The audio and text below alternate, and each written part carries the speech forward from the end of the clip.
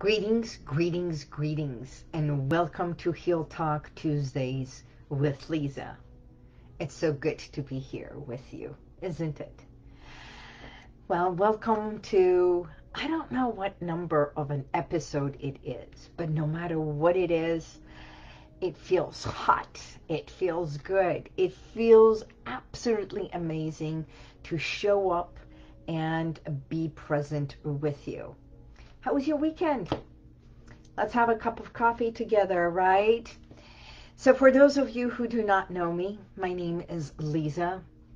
And over 22 years ago, I transformed and healed within.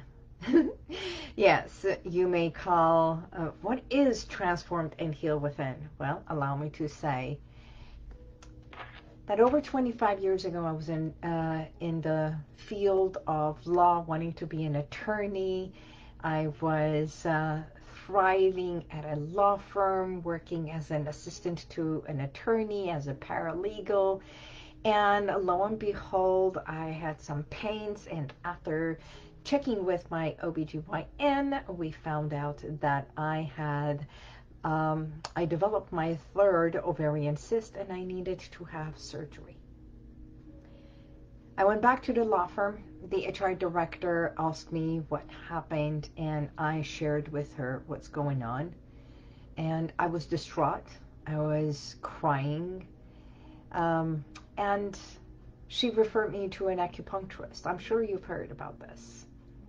But allow me to say that on the second session with the acupuncturist, he gave me a, an article to read about the powers of the mind, the subconscious, and the powers of hypnotherapy. And I knew of a hypnotherapist very close to my city. And I called her and I started my sessions within a few days. And in less than six sessions, I found the culprit, the reason of why my body was developing the ovarian cysts. And I believe that I healed myself through the techniques, through the therapy that we did, through tapping into the subconscious mind. And what I didn't realize is healed within. Now, when I went back to the gynecologist a week before the surgery and when they did the ultrasound, they could not detect it. He said, hogwash, there is no such thing. The body must have bursted or the cyst must have burst and you must have released it. And I said, no, this is exactly what I did. Now, is this something for everyone? Well, I like to call it, it is not a cure, but it sure is one of the most powerful tools and techniques. It is scientific of how hypnosis and tapping into the subconscious mind for you, it can benefit you. It can benefit your body. So there is a direct correlation between our mind what happens in our environment, what happens in our psyche, what happens in our DNA and our body.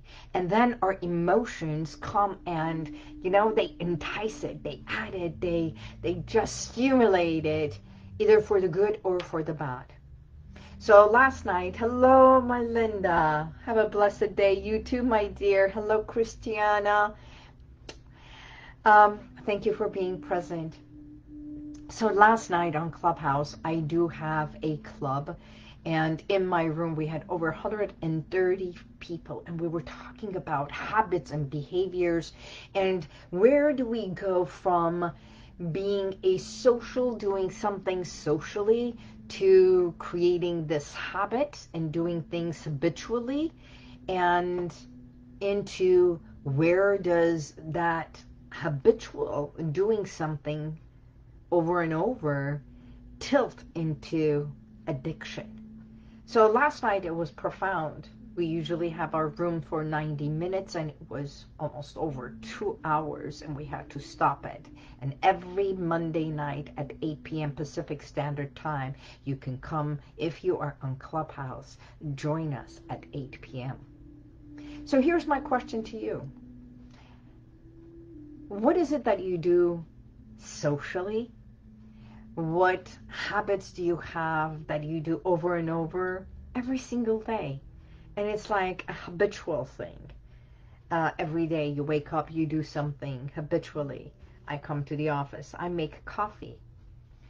Um, the time doesn't matter when I get to the office. Uh, here's another thing I do habitually. When I come, there's a stray cat.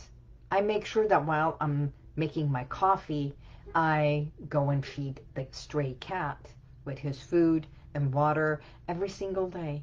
And there was a time that even I felt bad that I wasn't taking care of that cat. And weekends I would come and make sure that the food is filled with water and food.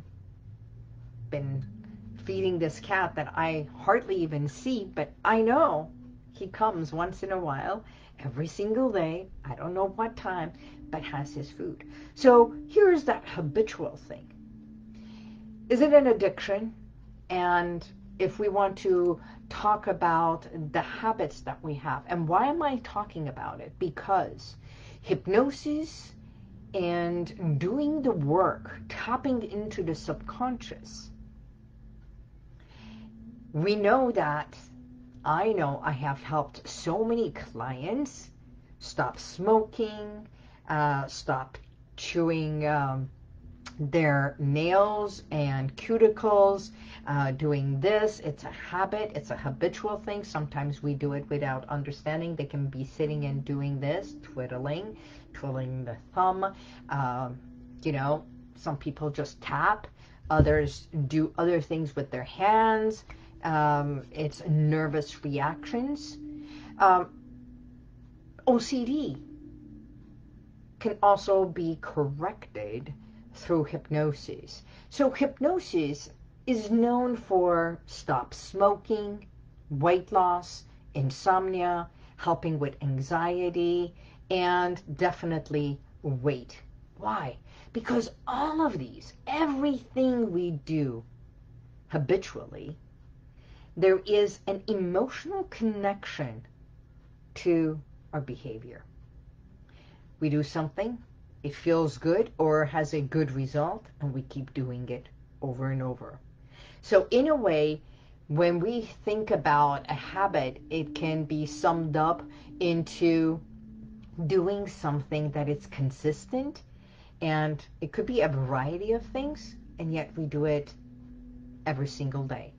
Every single day you wake up, you go to the toilet, and then uh, right before you want to get your coffee or something, maybe you even brush your teeth before you leave, you shower, you brush your teeth before shower, you shower and then brush your teeth. So those are all systematic things that you do day in, day out. Where you put your keys before you walk out, where you put your purse. Those are habits. You come in and you do the same thing over and over. And then it creates this pattern that you walk in expecting the same routine to be in place. When something goes off or gets off the routine, breaks your pattern, here's where it affects. There is an emotional disturbance. So it's not so much the pattern you get upset, but it's that emotional connection to the pattern. It's like you just disrupted my pattern.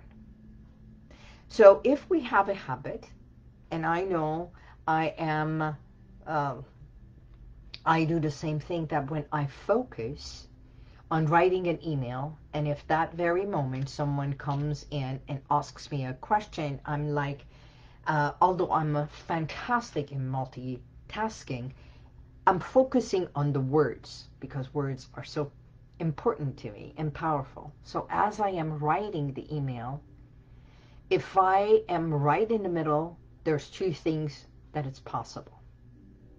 It is possible. I must stop in the middle of my thoughts. Hopefully I won't lose track of my thought. Or I say, um, and pay attention to the person who's asking me a question. Or I continue and say, come back. This way, emotionally, I am not disturbed. And the pattern, my behavior, what I am working on continues with good results. I had a client who came in to stop smoking. And this is, oh my God, uh, she's been gone maybe about seven, eight years ago. All these years, she knew that I help with stop smoking. As a matter of fact, I have a book called Stomp on Smoking because most of us, no matter how many times, maybe you are one of them, that you wanted to quit doing something and you realize that no matter how many times you quit, you start it again and somehow you just can't quit. You've been trained not to be a quitter. It's been instilled in you that quitters are just quitters. And there is a negative connotation towards quitters. But when you want to do something, when you want to break a habit, when you want to stomp or stop a behavior or a habit, then it becomes a choice. It is the choice connected with the emotions because, you know, uh, even weight loss, when some people say, I can't lose the weight, I've done it so many times and yet I gain it all back and they do everything to lose the weight and then they can't stand uh, when they gain the weight back. So here is what happens. Loss is a very negative and a very sad thing, just like quitting. It is an emotion, it is a word that it's, uh, it's demeaning, it is uh, low energy, does not motivate, it goes against moving forward, right? So when you want to do anything, I want to ask you, next time, by all means, choose, plan to create a new discipline, a new habit. To form a new habit, you need to recondition not only your mind, but the emotion connected to that. Because when you want to do something, my question comes to, why do you want to drop the weight? Why do you want to shed the weight? Why do you want, right? And you say, I want to feel good. I want to look good. I want to feel sexier. I want to feel good in my own skin. And I want my clothes that I just want to buy new clothes or the clothes that I've had size, let's say six or eight, I want to fit in them and not be tight. Now, that in itself is a motivation instead of saying, because I don't like it, it's going to be healthier for me. Any other excuse, knowing that you already know the health ramifications. You already knew everything else. And in that, the feeling becomes so good that your body says, yes, I want that. Yes, I want that. Yes, let's do this. The emotion connected to your new habit is more important. So here's the fine line between the habit and the addiction. Uh, the, addic the addiction is, um, when we define it, it's, uh, people will make sacrifices just to have that one thing that they need to feel good. As a habit, if I don't have my coffee at 10 o'clock, I can have it at 11 o'clock. It's not a need. The coffee is not calling me. I need you. You need me. It's just a habit. It's just a pattern. Right? So when we think about it, I want to know if you think and you sit back, I was doing this as I was saying it, when you sit back and think about it, how many times did you say the word, I'm addicted to sugar, I'm addicted to this, or even said the word without thinking, are you really addicted to it? Or is this a behavior that if you modify it and shift it and put a different emotion to it, that you can modify it. You know, when we tap into our subconscious mind, where it's the platform to everything, that's where everything, the magic happens. Because your subconscious mind also accepts it. It's not only the affirmations. So addiction is where the need of what, because every single thing, allow me to say, every socially, doing something socially, everything habitually, everything addictively is the feel good. Made you feel good the first time and you want to repeat that again. It felt good the second time, third time, and then you start continuing. But there are certain things that feels good but you no longer like it. And that is the difference.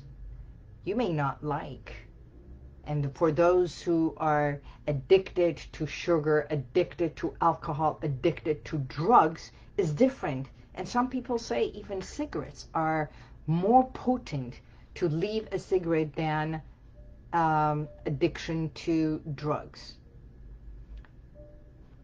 shift the emotion to whatever it is. And then we modify, yes, and there is also a chemical imbalance that happens in the mind or and in the body that the body starts craving it. But we also know that going through a withdrawal, it's the emotional connection of I don't have what I need, because that made me feel good and we go seeking, seeking. And people who are addicted to cigarettes, they will leave in the middle of the morning or in the middle of night to go and buy that pack and that pack has no power over them. They are the ones who go it, but they say, I can't be without it. So shifting that from the core and the emotional connection to it, plus the chemical withdrawal and doing that physicality, neuroscience of that is where the shift happens. So when the distinction is choice, uh, it is realizing that when we are talking about this, the client that I was talking about, she used to smoke two and a half cigarettes a day, a day. And she knew about hypnosis and me helping so many clients. But she liked the cigarette. She liked the feeling of it. She liked having the pack with her. She liked everything about smoking. But when she was diagnosed with throat cancer and the doctor said there is no way you can have the radiation while you're smoking and you must quit smoking, she made a call. She said, it's time. Let's do this. So they gave her seven months to live.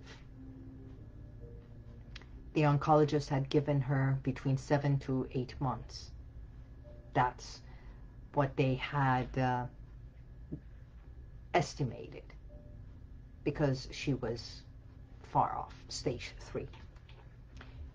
You know, the first session we did, oh, we dug in. We went so deep to understanding where it started, why she started, what was her connections to smoking, why did she feel that she wanted the smoking.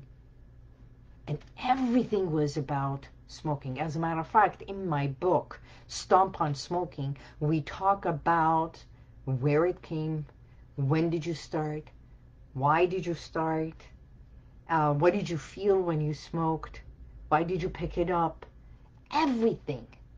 And when you don't have it, how you feel. So it literally is talking about the emotions. First session, second session, four days later, she comes back. From two and a half packs down to five.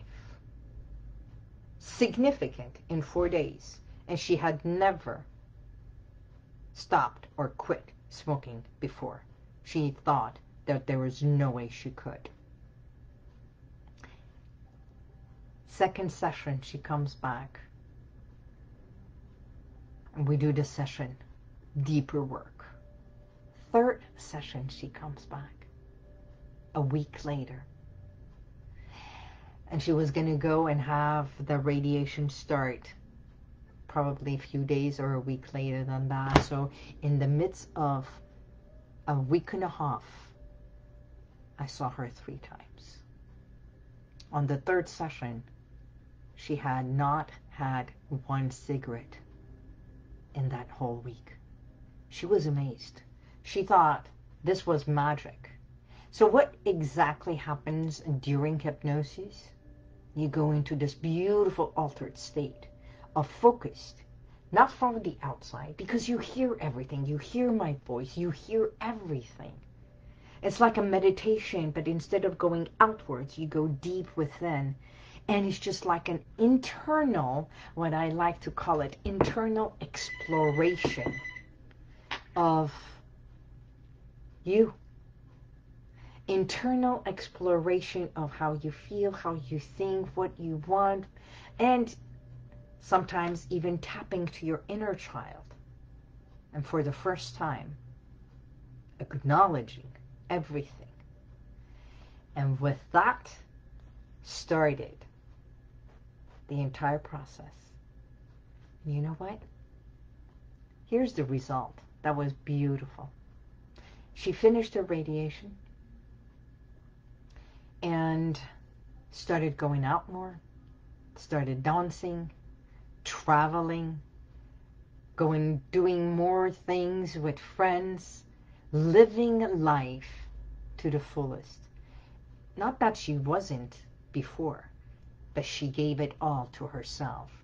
And instead of brooding and wasting her money, and she kept the money that she used to spend on two and a half packs a day. That's about 25 to $30 a day nowadays. Just think about it. $30 a day, and then times 30 days, that's approximately $900 a month. Hmm. What can you do with $900 a month extra?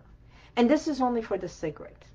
And I'm sure the ones who are addicted to other things that they spend their money on and then not feel good about it and go into this destructive loop of, ooh, I did it again. I can't do this. I can't do that. Um, you know, there's no way I can leave this. Oh, it feels bad. I feel bad for doing it. I let myself down. I let my family down. I let... Guess what? All that is nothing but self-destructive, self-depleting, low energy. So here's my thing. Don't you want to feel good? Don't you want to feel healthier? She lived four extra years where she had no hope over seven to eight months. She lived the best. She gave it all to herself. Whereas before she used to do so much for others and sit and do nothing for herself except just brute and exist in her words. I'm here to serve others she started serving herself as much. Not only her, but as much. So is self, being selfish bad? No, means you start acknowledging, caring, and valuing yourself. You become a bit selfish. Then instead of doing everything for others, you also account you and remember that you do matter. So, would you make a perfect kitty mommy? Oh, well, thank you so much. Hi, Seda John. How are you? So, today's message is life. You know, life takes us to hmm, unexpected places. We all have a habit. We all are doing things that are habitual. And some people say, I can't break it.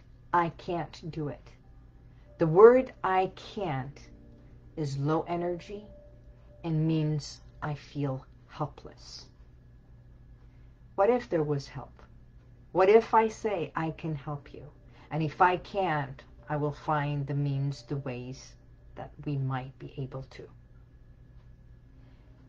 But it's up to you to say, I'm willing to give it my best.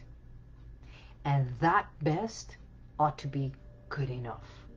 Not perfect, just good enough. That if you are doing something over and over that today is no longer benefiting you, it is becoming a hassle, it's become depleting you, it is a source of negativity between you, your relationships, your loved ones. It stinks or makes you angry, makes you behave in ways that it's not appreciative, or you yourself feel you're out of control. It's time for you to say, I matter. Because you do. Start valuing yourself and appreciating yourself. So if you want to start it, by all means, all you have to do is text the word HEAL, H-E-A-L, to 818-221-2797.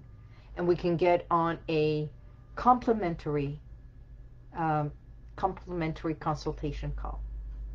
Let's see what we can do together because possibilities can become probabilities. You can do it today. You can do it tomorrow. You can do it this very moment. Your choice.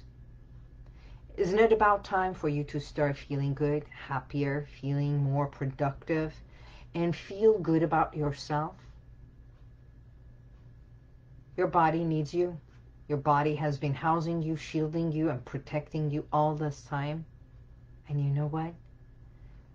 You can. You can. That's it. The word I can. I can't, if you cross the apostrophe T out, it means I can. So to end, I have a beautiful poem. And it says, life. Life is an opportunity. Benefit from it. Life is beauty. Admire it. Life is bliss. Taste it. Life is a dream. Realize it. Life is a challenge. Meet it. Life is a duty. Complete it. Life is a game. Play. Life is a promise. Let's fulfill it. Life is sorrow. You can overcome it. Life is a struggle. Accept it. Life is a tragedy. For some, it's about to confront it. Life is an adventure. Oh, dare it. Life is luck. Make it. Life is too precious. Stop destroying it. Life is life. It's time for us to love it. So today, today's message was, you can. You can be doing something socially. You can be aware of your habits. You want to change a habit? Call me. It's better to feel good than anxious. It's better to be healthier than negative. It is always better to feel better inside.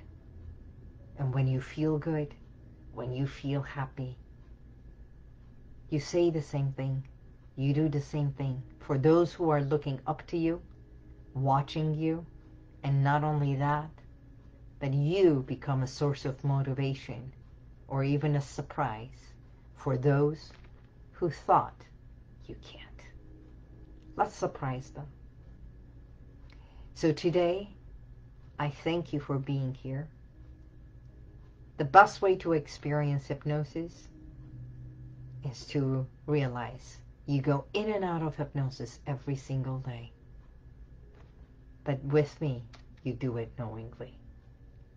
My name is Liza. I am here every single week. Welcome to Heal Talk Tuesday, and I will see you next week. Until then, God bless you, and may the universal light surround you.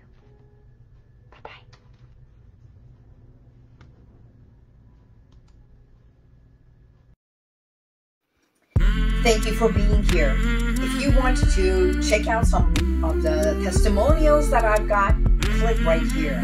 But if you want to go back and watch other videos from a week ago, two weeks ago, even a year ago, click right here. See you next